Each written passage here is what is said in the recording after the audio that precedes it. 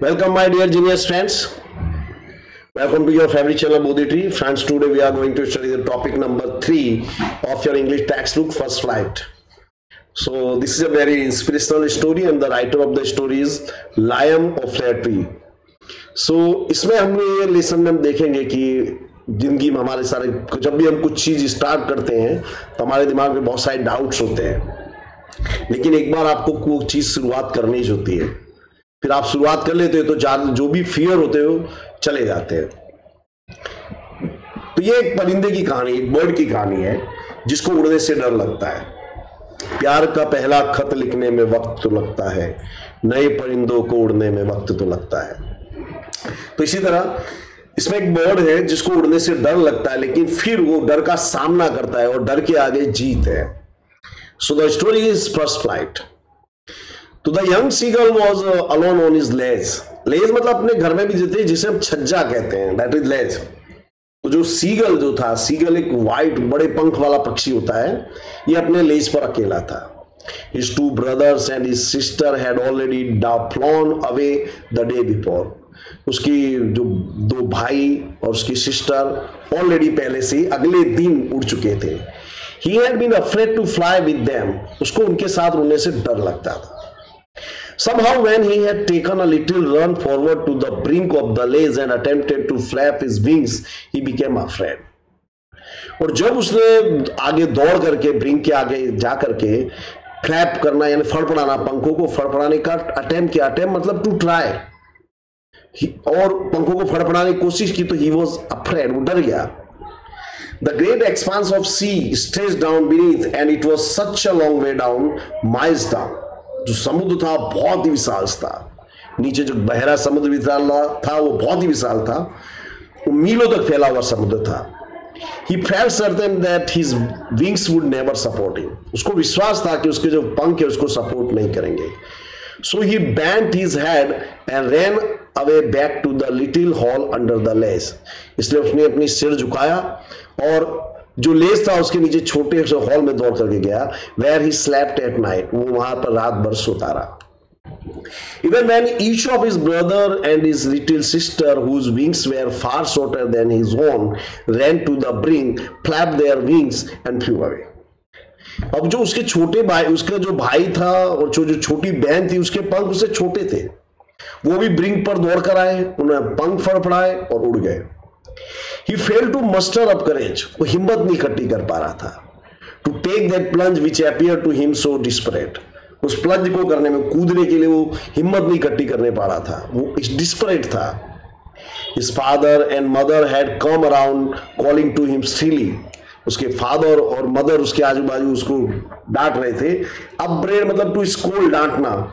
Threatening to let him starve on his ledge unless he flew away threaten यानी धमकी देना। ये word धम थ्रेट से बना है। स्टाल का मतलब होता है भूखे मारना। उन्होंने उसको धमकी दी कि अगर तू नहीं उड़ेगा तो हम तुझे भूखे मार देंगे। But for the life of him he could not move लेकिन वो मूव नहीं कर सका। That what twenty four hours ago ये चौबीस घंटे पहले की बात है। Since then nobody had come near him तब से कोई भी उसके पास नहीं आया।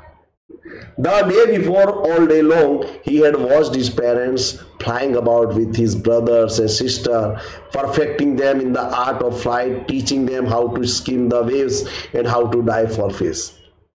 अगले दिन पूरे दिन उसके जो उसने देखा कि उसके जो पेरेंट्स थे उसके भाइयों और सिस्टर को उड़ना सिखा रहे थे जो आर्ट सिखा रहे थे उड़ने की उसको सिखा रहे थे कि जो वेव्स होते उसको किस तरह से स्किम करते पंखों से और किस तरह से फ़िश को पकड़ने के लिए डाइव करते हैं। जिस तरह से हर पेरेंट्स अपने बच्चों को स्किल सिखाते हैं, उसी तरह उसके पेरेंट्स भी अब उसके भाई बहन को स्किल सिखा रहे थे। Had in fact seen his older brother catch his first herring and devour it. उसने देखा कि उसके बड़े भाई ने पहली हैरिंग फ़िश पकड़ी और उसको खा गया। Standing on the rock rock पे खड़े होके while his parents circled around raising a proud cackle उसके जो पेरेंट्स थे उसके आजू बाजू आवाज़ कर रहे थे। In all the morning, the whole family had walked about on the big plateau midway down the opposite cliff, taunting him with his coward eyes. और पूरी सुबह उसकी जो पूरी फैमिली थी वो भी वो जो बड़ा जो प्लेटो था उसके अपोजिट क्लिप पर वो लोग चले गए। और उसको टोंट कर रहे थे। टोंट यानी ताना मार रहे थे। उसकी कावड़ाइस कावड़ाइस यानी कायरता। उसकी कायरता के लिए उसको ताना मार रहे थे। The sun was now ascending the sky तो सूर्य जो था आकाश में चढ़ रहा था blazing on his ledge that faced the south और उसका जो प्रकाश था, उसकी लेज पर आ रहा था। He felt the heat because he had not return since the previous night fall उसको हीट फील हुई, क्योंकि उसने पिछली रात से कुछ भी नहीं खाया था। He stepped slowly out to the brink of the ledge and standing on one leg with the other leg hidden under his wings, he closed one eye then the other. वो अपने ब्रिंक से बाहर आया less से बाहर आया और उसने अपना एक पैर पर खड़ा हो गया। फिर दूसरा जो पैर था उसने अपने विंग्स में छिपा लिया था। उसने एक आँख बंद की फिर दूसरी आँख बंद की and pretended to be falling asleep और ऐसे प्रिटेंड कर रहा था जैसे वो सो रहा हो। Still they took no notice of him लेकिन उसके जो पेरेंट्स थे, उसके जो फैमिली मेंबर्स थे उन्होंने उसका कोई नोटिस नहीं किया, कोई ध्यान नहीं दिया। He saw his two brothers and his sister lying on the plateau dozing with their heads sunk into their necks. उसने देखा कि उसके दो भाई, उसकी सिस्टर जो प्लेटो था, उस पर अपना सिर, जो गर्द सिर था, उसको पंखों में छुपा करके सो रहे थे। डोज मतलब to sleep all his mother was looking at him खाली उसकी जो माँ थी, उसको देख रही थी। She was standing on little high hump on the plateau वो प्लेटो पे एक छोटे से हम्प के ऊपर खड़ी थी। Her white breast thrust forward now and again she tore a piece of fish that lay at her feet and then scraped each side of her beak to on the road उसकी माँ क्या कर रही थी कि उसके पैरों में एक फ़िश थी, उसको, उसके टुकड़े कर रही थी और जो अपनी चोंच को रॉक पे लगड़ रही थी, उसको साफ़ करने के लिए। The sight of the food madden him जो खाना था उसको देख करके वो मैडन यानी पागल हो गया। मैड सबसे बना है बट। ये मेड का वर्ब है madden how he love to tear food that way उसको इस तरह से फ़ूड को टीयर करना कितना अच्छा लगता था।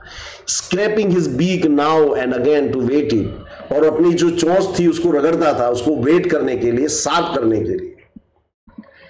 गा गा गा he cried begging her to bring him some food वो रिक्वेस्ट करने लगा कि उसको थोड़ा खाना दो।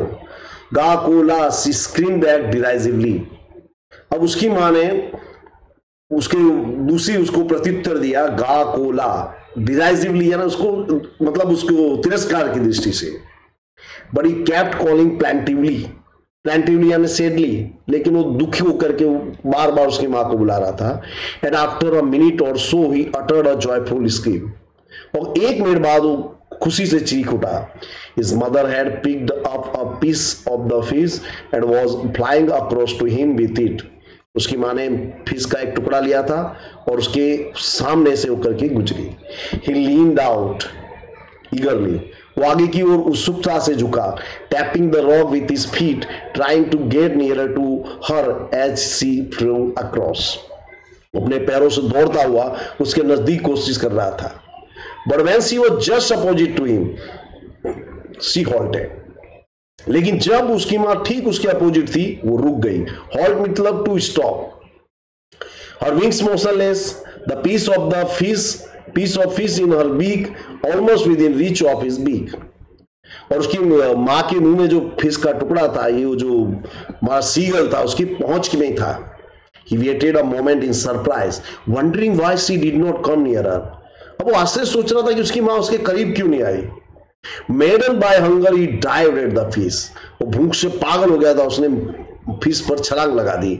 With a loud scream he fell outwards and downwards into space और एक चीख के साथ वो आकाश में ऊपर नीचे कूद रहा था। Then a monstrous terror seized him and his heart stood still एक बड़े से डर ने उसको घेर लिया और उसका हृदय जो था वो रुक सा गया। He could not hear nothing उसे कुछ सुनाई नहीं दे रहा था। But it only lasted a minute लेकिन ये जो था, एक मिनट तक ही चला। The next moment he felt his wings spread outwards उसने फील किया कि उसके जो पंख थे बाहर की ओर खुले।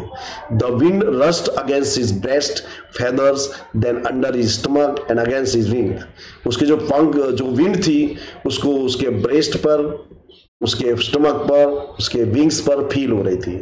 He could feel the tips of his wings cutting through the air वो देख पा रहा था कि जो विंग्स थे, वो हवा को काट रहे थे। He was not falling headlong now अब वो सिर के बल नहीं गिर रहा था। He was soaring gradually downwards and outwards वो धीरे धीरे ऊपर नीचे गिर रहा था। He was no longer afraid अब वो डरा हुआ नहीं था।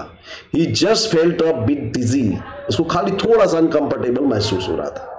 Then he flapped his wings once and he soared upward फिर उसने पंख फड़फड़ाए और ऊपर की हो गया।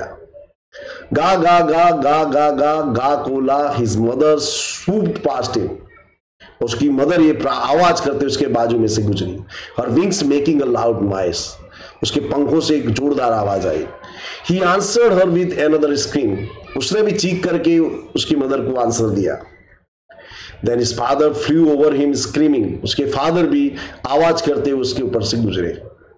He saw his two brothers and his sister flying around him, curveting and banking and soaring and diving. उसने देखा कि उसके जो भाई बहन थे वो भी उसके आजू बाजू उड़ रहे थे। एक कोई एक पंख से उड़ रहा था कोई सौर कर रहा था। बराबर? कोई ऊपर हॉर्स की तरह करवेटिंग मतलब leaping like a horse horse की तरह कूदते हुए डाइव कर रहा था। Then he completely forget that he had not always been able to fly अब वो भूल गया था कि कभी एक ऐसा भी वक्त था जब उड़ना, जब वो उड़ नहीं सकता था। And commanded himself to dive and soar and curve shrieking shrilly और वो डाइव सोर करने के लिए तैयार हो गया। He was near the sea now अब वो समुद्र के करीब था। फ्लाइंग स्ट्रेट ओवर इट उसके ऊपर से उड़ रहा था। Facing straight out over the ocean He saw a vast green sea beneath him with little ridges moving over it, and he turned his beak sideways and cawed amusedly. उसने देखा कि विशाल हरा सा समुद्र था उसके सामने फैला हुआ था और उसने अपनी चोंच को साइड वेस में मूव किया और काउड अम्यूजिक काउड मतलब to make a sound amusingly मतलब विद हैप्पीनेस खुशी से उसने आवाज़ की His parents, his brother and sister had landed on this green flooring ahead of him. उसके पेरेंट्स भाई और सिस्टर उससे पहले ये ग्रीन फ्लोरिंग यानी यहाँ पे ओशियन ओशियन में उतर चुके थे। They were beckoning to him calling shrilly वो उसको इशारा कर रहे थे। He dropped his legs to stand on the sea green sea उसने अपने पैर समुद्र में उतारे। His legs sank to his उसके पैर जो थे, समुद्र में डूबने लगे। He screamed with fright fright मतलब फियर डर से चीखा। And attempted to rise again flapping his bank wings और फिर से पंखों को फड़फड़ाने की कोशिश करने लगा। But he was tired and weak with hunger and he could not rise लेकिन वो टायर था, थका हुआ था। भूख से कमज़ोर हो गया था। उठ उठ नहीं सकता था। एग्जॉस्टेड एग्जॉस्ट मतलब ओवर टायर्ड बहुत ही थक गया था। बाय द स्ट्रेंज एक्सरसाइज ये जो उड़ने की एक्सरसाइज की थी, उससे बहुत थक गया था। His feet sank into the green sea उसके जो पैर थे समुद्र में दस गए थे। एंड देन इज़ बैली टर्च it and his sank no farther तो उसकी पेट जो था, समुद्र को छुआ वो डूबा नहीं। He was floating on it वो उस पर तैर रहा था। And around him his family was scream और आजू बाजू उसकी जो फैमिली थी, चीख रही थी। प्रेजिंग हिम उसको एडमायर कर रही थी। And there beaks were offering him scraps of dog fish और वो उसको डॉग फ़िश के पीस ऑफ़र कर रहे थे। He had made his first flight उसने अपनी पहली फ़र्स्ट फ़्लाइट की so friends i am sure you like this video very much. Thanks for watching. Have a very nice day